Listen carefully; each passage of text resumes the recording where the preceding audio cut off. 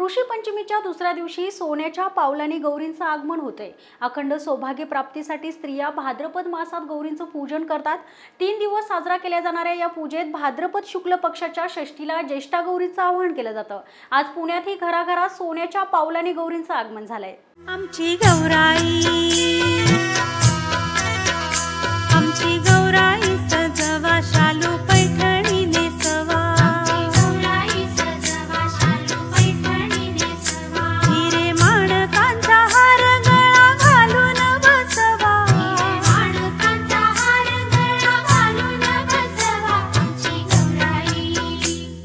गौरी आव्हानाच्या दिवशी सोन्याच्या पावलांनी गौरींचं आगमन सर्वांच्या घरी झालंय.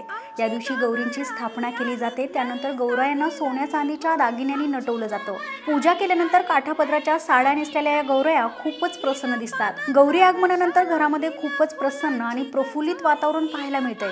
दुसऱ्या दिवशी गौरी पूजनाच्या दिवशी गौरी गणपतीला पुरणपोळीचा नैवेद्य दाखवला जातो. त्याचबरोबर स्त्रिया घरी फराळ बनवून तो सुद्धा गौरींना नैवेद्य म्हणून दाखवला जातात अशी माहिती शारदा भापकर यांनी दिली आहे ह्या वर्षी आम्ही नऊवारी साडी घातल्यात त्यांना. आणि ह्या संसार मांडला आहे सगळा त्यांचा. दरवर्षी वेगळं वेगळं करतो. ह्या वर्षी आम्ही संसार मांडला आहे आणि आता उद्या पुर आज भाजी भाकरीचा नैवेद्य दाखवायचा. मेथीची भाजी वरण भात तुपाची धार त्याच्यावर ह्याचा नैवेद्य दाखवायचा. उद्या पुरणपोळ्या करायच्या. पुरणपोळ्यांचा नैवेद्य दाखवायचा. आणि फराळाचं मांडायचं. रांगोळ्या काढायच्या. त्याच्यानंतर सवासनींला बोलवायचं. त्या सवा दोन सवासनींला जीवू घालायचं. त्यांची खणा नारळाने वटी भरायची आणि संध्याकाळी हळदी कुंकू करायचं.